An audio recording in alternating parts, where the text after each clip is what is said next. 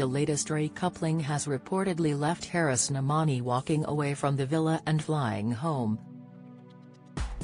This exit comes after Love Island fans were left stunned over claims the ITV star was involved in a fight. Video footage obtained by The Sun appears to show Haris in a street brawl. Love Island insiders have revealed the Islander has left the villa as part of a planned elimination. The scenes will reportedly play out in Tuesday's installment of the show. Haris was booted off Love Island last night. There was a dumping and he got the chop, a source told The Sun.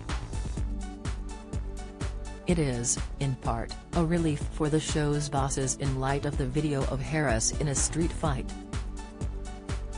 A Love Island spokesperson said, We would never comment on dumpings or show formats to avoid ruining the show for the viewers. In the clip, Haris can be seen punching another man who subsequently falls to the floor. The salesman from Doncaster has a passion for boxing and had shared training videos to his Instagram.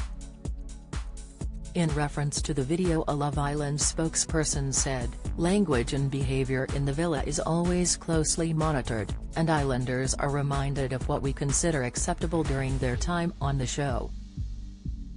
Extensive duty of care protocols for all Islanders includes video training and guidance covering language and behavior, the spokesperson told The Sun. Meanwhile, a fight erupted between Haris and Shaq Muhammad just days into the villa. The two Islanders had to be kept apart by the other boys after Shaq branded Haris a ST stirrer bombshell David Salako had been dared to kiss the Islander he fancied the most for 30 seconds. He chose Shaq's partner Tanya Manhenga and it was clear the airport security officer wasn't impressed.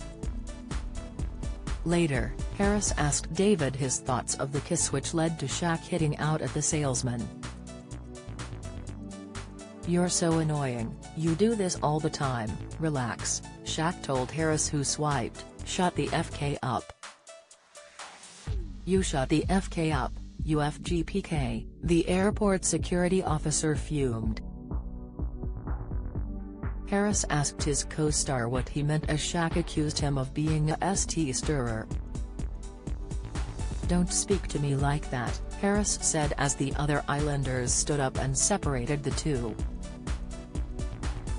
David was subsequently dumped from the villa when Tanya decided to stay coupled up with Shaq. Love Island continues on ITV2 on Tuesday at 9 p.m.